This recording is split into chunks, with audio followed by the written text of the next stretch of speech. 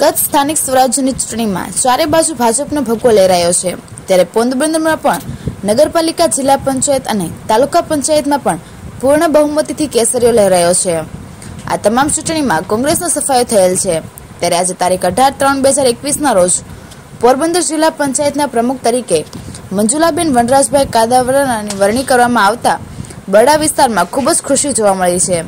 તેનું મુખ્ય કારણ બરડા વિસ્તારમાં વર્ષોથી ભાજપ સાથે સંકળાયેલા અને વિસ્તારમાં વિકાસના કામના જેમનો સિંહ ફાળો છે અને બે ટર્મ સુધી પોરબંદર તાલુકા પંચાયતના પ્રમુખ તરીકે સેવા આપેલ તે વિરમભાઈ કારાવદ્રાના પુત્ર વનરાજભાઈના પત્ની મંજુલાબેન, જે વિરમભાઈ કારાવદ્રાના પુત્રવધુ થાય છે.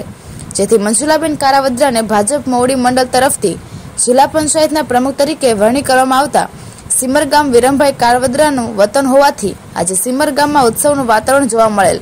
અને સિમર ગામમાં મહેર સમાજમાં સિમર ગામના ગ્રામજનો, મહિલાઓ તેમજ આજુબાજુના ગ્રામજનોએ મંજુલાબેન કારાવદ્રાનું ભવ્ય સ્વાગત કરેલ.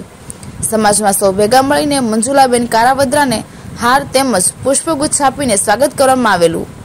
આ તકે પોરબંદરના પૂર્વ તાલુકા પંચાયતના પ્રમુખ મંજુલાબેનના સસરા વિરમભાઈ કારાવદ્રા, સિમર ગામના સરપંચ કેશુભાઈ મોઢવાડિયા રાણાજીવાળા ગામના સરપંચ દિલીપભાઈ નકુમ તેમજ હાલમાં જ તાલુકા પંચાયતની સીટ ઉપર વિજેતા બનેલ કેશુભાઈ ઓડેદરા અને ભાણવડ યુવા ભાજપ પ્રમુખ અલ્પેશભાઈ પાથર વગેરે અગ્રણીઓ સાથે સિમર ગામના લીરબાઈ સેવા સમિતિના પ્રમુખ મુળુભાઈ સીડા પણ હાજર રહેલા અને સૌએ મંજુલાબેન કારાવદ્રાને પોરબંદર જિલ્લા પંચાયતના પ્રમુખ બનતા શુભેચ્છા આપવામાં આવેલ હતી.